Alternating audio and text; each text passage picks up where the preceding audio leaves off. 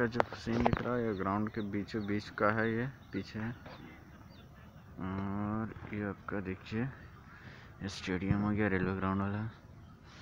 और ये चारों तरफ़ देख लीजिए, एक बार बीच से दिखता है। बिल्कुल।